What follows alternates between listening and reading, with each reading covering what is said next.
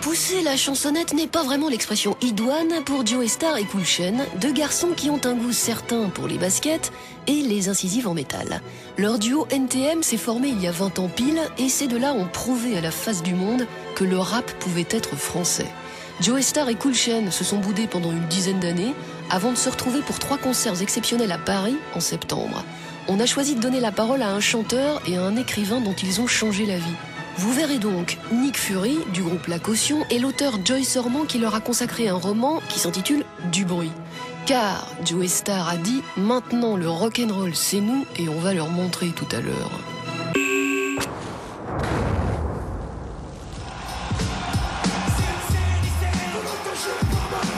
NTM est né en Seine-Saint-Denis, numéro de département 9393, de l'autre côté du périph' de Paris. Et très vite, NTM devient un emblème du 9-3, plus généralement de ce qu'on a tendance à appeler la banlieue. Moi, je viens du Noisy-le-Sec dans le 93. euh, j'ai été, euh, euh, le premier morceau de rap que, j'ai entendu, je suis tombé dedans, mais direct. donc du coup, les mecs, pour moi, arriver à le faire en français, pour moi, c'était, un truc de ouf. C'était vraiment, et le fait qu'en plus, ça représentait vraiment, tu vois, le 93 et tout. J'étais ado, j'étais comme un dingue.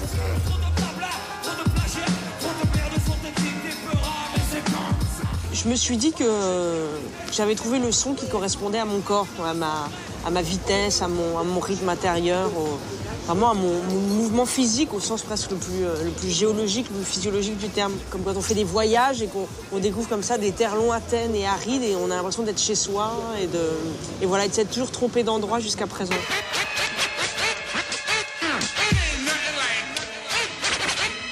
Le groupe se construit une légende au fil de ses concerts et petit à petit NTM, ça n'est plus seulement la Seine-Saint-Denis, c'est un duo qui parle à la jeunesse tout entière.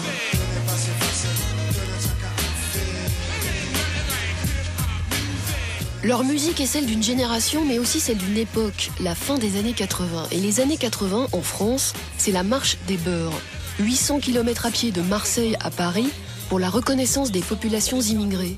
Les années 80, c'est aussi la montée de l'extrême droite, les manifestations lycéennes et les violences policières qui entraînent la mort d'un étudiant, Malik Ousekine. Joe Star et Chain ont grandi avec cette histoire. Ils sortent Je rappe, leur premier titre en 90. À l'époque, ils ont 23 et 24 ans. évidemment que le, contexte euh, historique, sociologique et politique est, essentiel et qu'à un moment, le rap a aussi permis de rendre visibles les revendications, euh, les difficultés euh, euh, et, le, et finalement le mépris que, que beaucoup affichaient à l'égard de, de cette population, de sa mise au banc euh, au, au sens propre du terme banlieue. Quoi. Mais on est tous là de ce retour en même schéma. Mais on est tous là de ce retour en même schéma. En fin de compte, ils arrivaient au moment où il fallait que quelque chose émerge.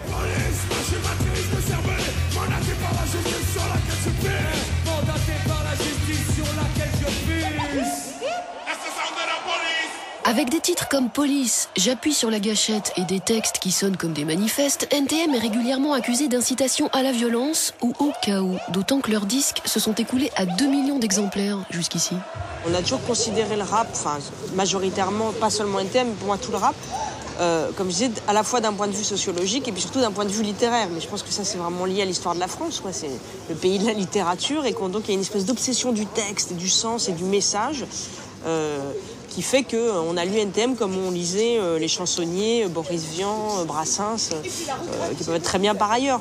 Mais voilà, il y a cette espèce de focalisation sur le texte qui fait que euh, on a un peu oublié le reste.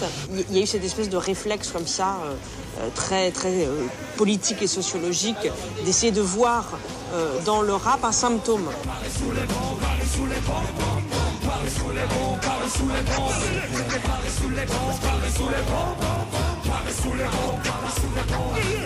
Au-delà des textes, c'est plus l'émotion qui se dégage de leur musique qui collait pour moi parfaitement à l'époque et parfaitement à- au 93 de l'époque. quoi.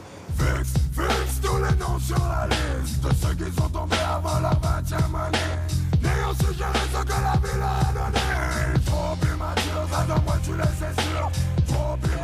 Comment Joey Star déglingue en fait le rapport à la langue, au vocabulaire, à la syntaxe, au rythme, enfin ce qu'on appelle le flow. Ça me paraît mille fois plus intéressant, nouveau et subversif que les textes eux-mêmes.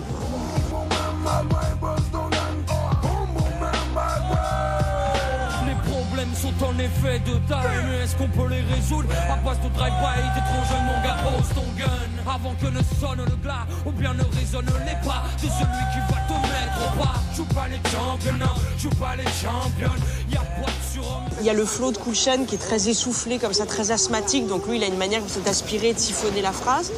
Il y a le flow de Joey Star qui est beaucoup plus rocailleux. C'était cette complémentarité-là qui claquait. quoi. C'est-à-dire que les mecs étaient sur la même longueur d'onde de- euh, artistique en tout cas, puisque ça collait super bien, les deux voix allaient super bien ensemble.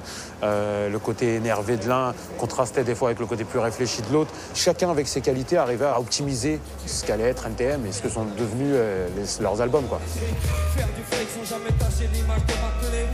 C'est fou mais c'est comme ça, je me nourris ça J'ai besoin de ça, mon équilibre dépend de ça Je suis sur le mic, le mec et puis j'aime J'aime quand ça fait pas, quand ça vient d'en bas et puis quand on se bat À chaque fois qu'il chante, c'est euh, c'est finalement, moi j'entends quasiment quelque chose d'autre. Puis j'entends plus qu'une matière sonore, en fait, des intonations, des bruits.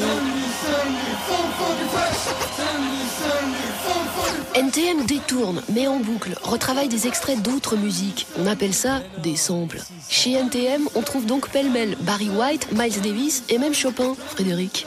Tu sais, quand tu prends tel sample de James Brown, de machin, de trucs où il y avait déjà une, basse super lourde que tu rajoutes dessus, hein, que tu, tu la compresses encore plus, tu rends le truc encore plus, euh, encore plus, euh, on va dire viscéral, tu vois, qui te prend, qui te prend au trip. Je pense que c'était un peu ça le hip-hop de l'époque.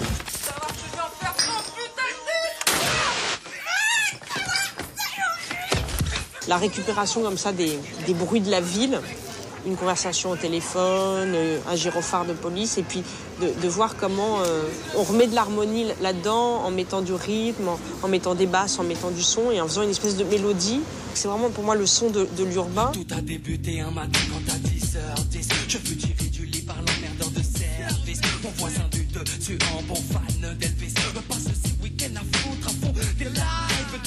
C'est un rapport à son temps qui est un rapport finalement enthousiaste et voilà de dire ben on vit dans le béton donc ou on choisit de détester ce béton ou euh, on, choi- on choisit de dire ben ouais c'est- mon lieu, c'est ma vie, c'est mon temps donc je veux en faire quelque chose quoi. Le rap c'est pas seulement une déploration de la galère des cités, c'est aussi une célébration de ça, une célébration de la vie là-bas et de ce qui s'y passe et de comment on parle et de et donc il- y a quelque chose je trouve de la fierté euh, voilà, parce que c'est une musique de la fierté aussi, c'est une musique de grande gueule. moi. Ils m'ont mis la fièvre Pendant, pendant des heures Mais ils m'ont mis la fièvre Pendant des heures mais C'est le message finalement. Le hip-hop, c'est hey, vous croyez qu'on n'est pas là, mais on est là et c'est frais ce qu'on fait et on vous emmerde. Et quelque part, bon, qui de mieux en France qu'NTM là, a montré ça? L'album Suprême NTM retrace les 20 ans de carrière du groupe. Joe Star et Cool remonteront ensemble sur scène pour trois concerts au Palais Omnisport de Paris-Bercy les 18, 19 et 20 septembre. Je lui ai mis la fièvre